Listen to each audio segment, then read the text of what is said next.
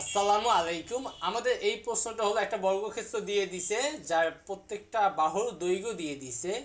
তারপর এখানে বলে দিছে, টু মিটার বাহু বিশিষ্ট এ বি সি ডি বর্গক্ষেত্রের কেন্দ্র ও এবং উক্ত বিন্দুতে ওয়ান কেজি ভরের একটি বস্তু রাখা আছে। মানে ও বিন্দুতে ওয়ান কেজি ভরের একটা বস্তু রাখা আছে। এ বি সি ডি বিন্দুতে যথাক্রমে four KG four KG two KG two KG ভরের চারটি বস্তা রাখা আছে। মানে এ বি সি ডিতে নির্দিষ্ট ওজনে কিছু বস্তা রাখছে আর কি, একটা একটা করে। জি এর মান দিয়ে দিছি। তো ক নাম্বার প্রশ্ন হলো ও বিন্দুতে মহাকর্ষীয় বিভব নির্ণয় করো। তো মহাকর্ষীয় বিভব নির্ণয় করতে গেলে আমাদের এখানে আমাদের দেখো চারটা অবস্থান আছে এ বি সি ডি এই চারটা অবস্থানের জন্যই আমাদের কী করতে হবে? মহাকর্ষীয় বিভব বের করতে হবে। তারপর সবগুলো যোগ করে দিলেই আমরা কি পাবো? টোটাল মহাকর্ষীয় বিভব পাবো। তাহলে ও বিন্দুতে এ ভরের জন্য মহাকর্ষীয় বিভব আগে বের করব। তারপর ও বিন্দুতে বি ভরের জন্য আমরা মহাকর্ষীয় বিভব বের করব। এভাবে প্রত্যেকটা মানে চারটাই মহাকর্ষীয় বিভব বের করব। তো আমাদের প্রশ্নটার সাইজ তো একটু বেশি বড়, আমরা প্রশ্নটাকে একটু চাপাই দেই, তখন এই বর্গটা ক্ষেত্রটাকে আর? বর্গ ক্ষেত্র মনে হবে না। একদম দেখাবে আয়ত ক্ষেত্রের মতো। তো আমরা সেটা দেখা যেন আবার কিছু মনে না করি হ্যাঁ? আমরা আমাদের সমাধানটা করার জন্য এটাকে একটু চাপাই দেব। ওকে, আপাতত এমনই থাকুক। এইবার আমরা লিখি। দেখো, ক নাম্বার প্রশ্ন। এখন দেখো, এখানে আমাদের যেহেতু ও বিন্দুতে এ ভরের জন্য আমরা মহাকর্ষীয় বিভব বের করব, তাহলে কি? ও এর দৈর্ঘ্য জানা লাগবে। তারপর ও বিন্দুতে বি ভরের জন্য আমি মহাকর্ষীয় বিভব বের করব, তাহলে ও বি এর দৈ- দূরত্বটা জানা লাগবে, দূরত্ব তো লাগে, তাই না? যেই ভরের জন্য বিভব বের করব, সেই ভর থেকে আর যেই বিন্দুতে বিভব বের করছে, সেই বিন্দু দূরত্ব লাগবে। যেমন ও বিন্দুতে এ ভরের জন্য মহাকর্ষীয় বিভব বের করব, তাহলে ও এর দৈর্ঘ্যটা লাগবে। মানে ব্যাসার্ধটা আমাদের লাগে, বা দূরত্বটা লাগে, তাহলে O A, O B, O C, O D আমার লাগবে। যেহেতু এখানে ও হইল কেন্দ্র তাহলে যেহেতু এটা একটা বর্গক্ষেত্র, তাহলে O A O B O C O D কী হবে? সমান হবে। এখানে এসি হলো কর্ণ। আর কর্ণের অর্ধেকই কিন্তু হবে ও এ অথবা ও সি অথবা ও বি অথবা ও ডি সবগুলো তো সেমি লিখব এখানে এসি কর্ণ AC Karna equal to root two into বাহু। রুট টু ইন্টু বাহু। আমাদের সূত্র কর্ণের দৈর্ঘ্য রুট টু ইন্টু বাহু। বাহুকে তো আমরা এ দিয়ে প্রকাশ করি। তাহলে এখানে রুট টু ইন্টু বাহুর দৈর্ঘ্য, প্রত্যেকটা বাহুর দৈর্ঘ্য কত আছে? টু মিটার তাহলে আমরা টু লিখলাম। তাহলে এটা কত হইল? টু রুট টু কিন্তু আমরা এসি এর দৈর্ঘ্য বের করলে তো হবে না। আমাদের O A O B O C O D এগুলো কি? কর্ণের অর্ধেক। দেখব এখানে, এখন। এখন ও এ ও বি তারপর equal O C equal O D এই চারটাই সমান হবে। কারণ কি বলে, কেন্দ্র থেকে এগুলা প্রত্যেকটা শীর্ষের দূরত্ব সেম বর্গক্ষেত্রে। কর্ণের অর্ধেক কর্ণ হলো এসি এসি বলতে পারতাম অথবা বিডিও বলতে পারতাম। ঠিক আছে এসি বাই টু তাহলে এইবার আমরা কি করব? এসি এর মান হলো two root two by two তার মানে আমরা পাইলাম রুট টু তার মানে যে O A O B O C O D এগুলো দৈর্ঘ্য কত রুট টু মিটার ওকে দূরত্ব বের করে ফেলছি এইবার এ ভরের জন্য ও বিন্দুতে বিভব বের করব দেখব দেখব এ ভরের জন্য এ ভরের জন্য এ ভর না লিখে আমরা লিখি এ বিন্দুর ভরের জন্য হ্যাঁ এ বিন্দুর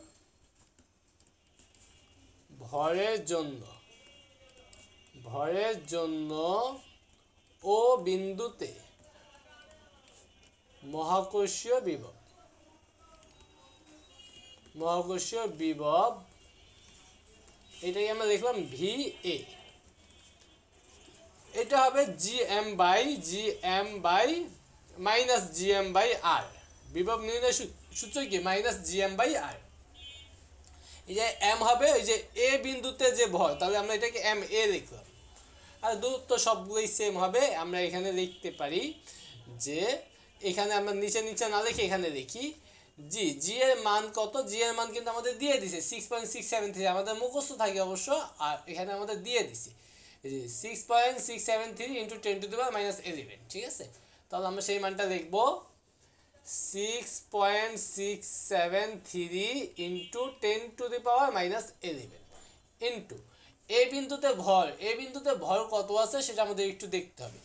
এ বিন্দুতে ভর, এই যে ধারাবাহিকভাবে এ বি সি ডিতে এ আর বিতে ফোর ফোর সি আর ডিতে টু টু তো আমরা এটাকে ফোর আর দূরত্ব কত?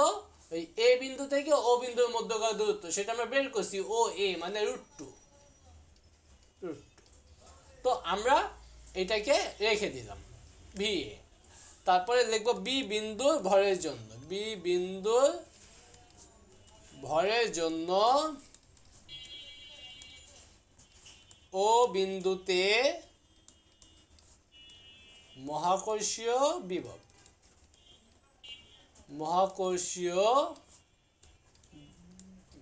বিভব, এটাকে V B equal to minus G এই যে ভরকে লিখব এম বি আর নিচে আর তো এখানে এখানে মাইনাস আছে, একটা আমরা মাইনাসটা দিই নেই, দিয়ে দিলাম এখন।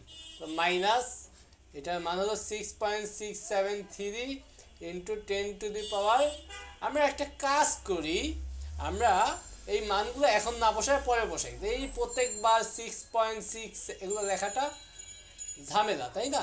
এটা পরে লিখব। তারপরে আমরা লিখি সি বিন্দুতে সি বিন্দুর ভরের জন্য সেম কথাগুলো আমরা লিখলাম না। ও বিন্দুতে মহাকর্ষীয় বিভব। এটাকে আমরা লিখব V C equal to minus G M C by R তারপরে ডি বিন্দুর ডি বিন্দুর ভরের জন্য ও বিন্দুতে মহাকর্ষীয় বিভব। ঠিক আছে? তাহলে এটা হবে বি ডি তাহলে মাইনাস এটা হবে G M D divided by R এবার দেখব, ও বিন্দুতে মোট বিভব, ঠিক আছে? ও বিন্দুতে, সুতরাং ও বিন্দুতে মোট বিভব। মোট বিভব ভি ইকুয়াল টু মানে মহাকর্ষীয় বিভব লিখবা, ঠিক আছে?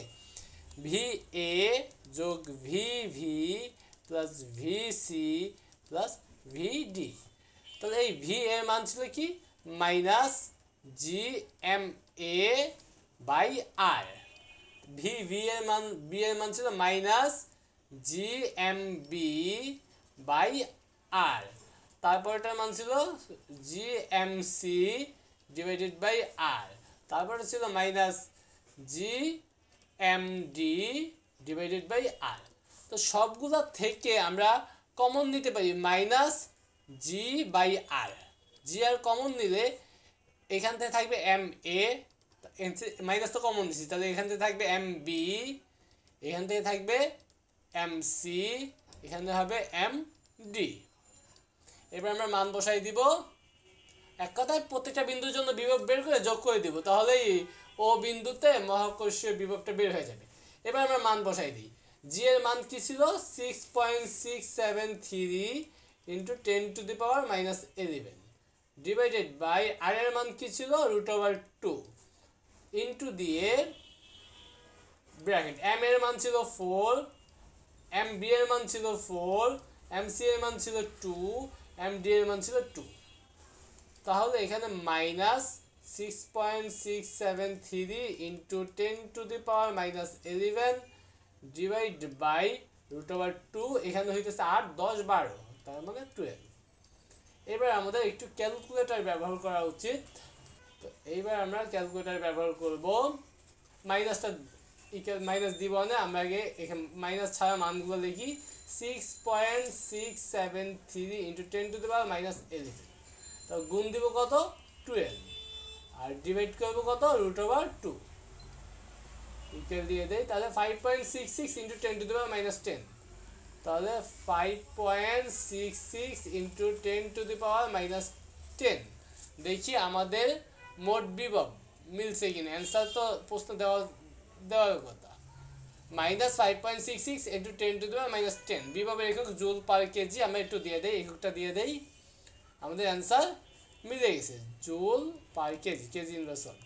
তো আশা করি তোমরা এই অঙ্কটা বুঝতে পারছ।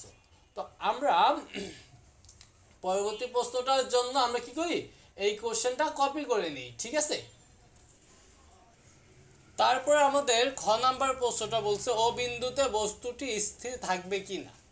তো একটা বস্তু স্থির থাকবে যদি তার উভয় দিকে সেম পরিমাণ বল কার্যকর থাকে। এখানে যদি ও এ আর ও সি এর বল সেম থাকে। আবার ও বি আর ও ডি এর যদি বল, মধ্যকার বল যদি সেম থাকে, তাহলে আমরা বলতে পারব বস্তুটি স্থির আছে। তো আমরা ও এর মধ্যকার বল বের করব ও বি এর মধ্যকার বল বের করব ও সি এর মধ্যকার বল বের করব এবং ও ডি এর মধ্যকার বল বের করব। লিখব এখানে খ নাম্বার প্রশ্ন হ্যাঁ এটা। ও এর মধ্যকার বল মধ্যকার বল। এটাকে আমি বললাম, মনে কর এফ এ লিখলাম। ঠিক আছে? ও এর মধ্যকার বলকে আমরা এফ এ লিখলাম। তো এফ এ ইকুয়াল টু আমরা কি? জি ইন্টু এম এম একটু ব্যাখ্যা হয়ে গেছে এটা আমার সাথেই। এম এম জি ইন্টু দুইটা ভর মানে একটা ভর হবে এর ভর, এর ভরটাকে আমরা এম এ লিখছি। ইন্টু আরেকটা হবে ওর ভর, ওর ভরটাকে আমরা লিখতে পারি এম ও আর নিচে হবে কি আর স্কোয়ার লিখলাম আর স্কোয়ার এইবার এখানটার মান বসাই দেই।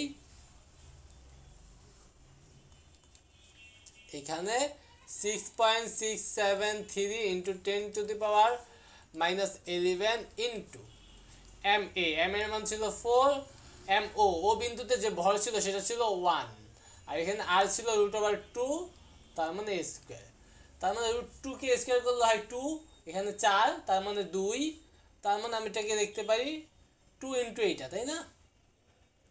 তাহলে টু ইন্টু এইটা আমরা এটার মান কত হবে? ক্যালকুলেটার বসাইতে হবে। Two into six point six seven three into ten to the power minus eleven one point three three four six one point three three four six one point three three four six into ten to the power minus ইলেভেনে হওয়ার কথা sorry minus ten minus ten newton তাহলে ও এর মধ্যকার বল বের করলাম। তারপর দেখব ও বি ও বি এর মধ্যকার বল মধ্যকার বল। মধ্যকার বল এফ বি ইকুয়াল টু এটা সেম হবে। এটা না করে বলে দিলেও হয় যে ভর দুইটা সেম যেহেতু, তার মানে ও এ আর ও বি এর বল সেম হবে। তাহলে এফ বি এখানে হবে six point six seven three into ten to the power minus eleven into O বিতে ভর ছিল ফোর আর এম ও বিন্দুতে ভর তো ওয়ানই আর এটা তো রুট টুই এটা কিন্তু সেম ভ্যালু তার মানে ফলাফল সেম হবে। One point three three four six equal to ten to the power minus ten newton এবার আমরা ও সি বিন্দুতে বল বের করব। তো সেটা ভিন্নভাবে কারণ এখানে ওজন ডিফারেন্ট ও সি এর মধ্যকার মধ্যকার বল। এটাকে আমরা এফ সি যদি বলি জি ইন্টু এখানে হবে M C into M nought divided by R square তো এখানে জি এর মান হলো six point six seven three into ten to the power minus eleven into এখানে এম সি এর মান হলো টু ইন্টু ওয়ান নিচে হলো রুট টু স্কোয়ার তো এটা ক্যালকুলেটার লাগবে না, এখানে হবে ওয়ান আর ওয়ান গুণ এটা মানে six point six seven three into ten to the power minus eleven newton তারপর ও ডি ও ডি এর মধ্যকার বল বের করব। ও ডি এর মধ্যকার বল। এটাকে আমরা এফ ডি বললাম। G into M D into M nought R square মানগুলো বসাই দেয় six point six seven three into ten to the power minus eleven এখানে টু ইন্টু ওয়ান এখানে root two square same value তার মানে এখানে six point six seven three into ten to the power minus eleven newton তো এবার আমরা দেখব, দেখো, আমাদের এই যে ও বিন্দুটা ও বিন্দুটা কি? এ আর সি এর মধ্যবিন্দু, তাই না? তাহলে আমরা দেখব ও সি ও এ আর ও সি এর মধ্যকার বল সেম কিনা? দেখো ও এর মধ্যকার বল হলো এফ এ এফ এর মান পাইছি one point three three four six আর ও সি এর মধ্যকার বল পাইছি six point six seven three তাহলে A O A R O C কিন্তু সমান না। আবার ও বি দেখো ও বি এর মধ্যকার বল যা ও ডি এর মধ্যকার বল তা না। মানে এক কথায় এখানে যদি স্থির থাকতে হয়, তাহলে এই যে ও এ আর ও সি এর মধ্যকার বল সেম হইতে হবে। আবার ও বি আর ও ডি এর মধ্যকার বল সেম হইতে হবে। যেহেতু সেম না, দেখব দেখা যায় দেখা যায় দেখা যায় F A equal not F C এবং F B equal not F D সুতরাং বলা যায় বলা যায়। কি বলা যায়? কি স্থির থাকবে না? আমি একটু প্রশ্নটা দেখে বুঝি। যে ও বিন্দুতে বস্তুটি স্থির থাকবে না। ও বিন্দুতে যে বস্তুটা, সেটা স্থির থাকবে না। ও বিন্দুতে, সুতরাং বলা যায় ও বিন্দুতে বস্তুটি স্থির থাকবে না। যদি বল সেম হইতো উভয় দিক দিয়ে সমান বল থাকতো, তখন আমরা বলতাম সাম্য বল। সাম্য অবস্থায় থাকলে বল স্থির থাকে। আর এটা সাম্য অবস্থায় থাকবে না, কারণ উভয় দিকে মানে এ দিকে, আবার সি এর দিকে ভিন্ন ভিন্ন বল কাজ করতেছে, আবার বি এর দিকে আর ডি এর দিকে ভিন্ন ভিন্ন বল কাজ করতেছে। সুতরাং বলা যায় ও বিন্দুতে বস্তুটি স্থির অবস্থায় থাকবে না। অ্যান্সার আশা করি তোমরা এই সৃজনশীলটা বুঝতে পারছ। এটা একটা সহজ সৃজনশীল ছিল। আশা করি তোমরা বুঝতে পারছ।